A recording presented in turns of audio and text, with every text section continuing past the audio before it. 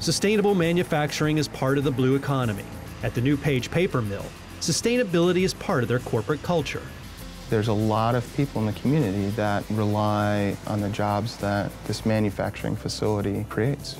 So we have a responsibility to conduct our operations in an environmentally responsible manner. If this mill or other facilities were unable to continue manufacturing the products that they do, that's not very sustainable. The community is Escanaba, located in Michigan's timber-rich Upper Peninsula. Escanaba and the surrounding towns depend on the forestry products industry for their livelihood. Pam Losher and her family live in Gladstone, a small town nearby.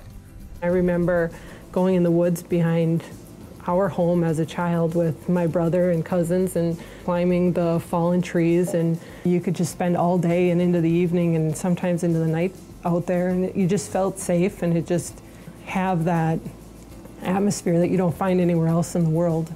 Spending time in the woods is a way of life for Pam and her family, but it's not just outdoor recreation that draws them to the forest.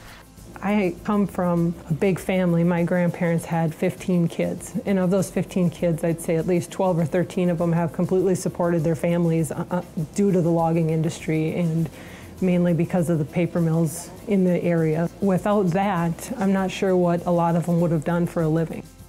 Logging and the timber industry are big business in the UP. It's driven the local economy in this region for almost two centuries. But the timber industry almost disappeared due to clear cutting and other unsustainable practices. Environmentalists, loggers, and foresters worked together to create sustainable harvesting practices, and now the forests are back. Lumber from Michigan's Upper Peninsula is sent around the country to make frames for homes, hardwood floors, railroad ties, and of course, paper.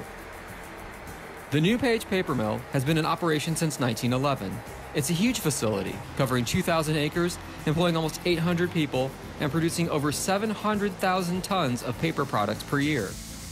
If a mill like this should fail, it would have a devastating effect on the local economy. So the managers and employees of the New Page Paper Mill have taken lessons of sustainability to heart.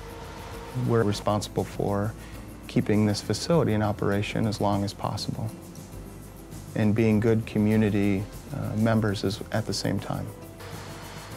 At New Page, they know their future lies in sustainable manufacturing practices.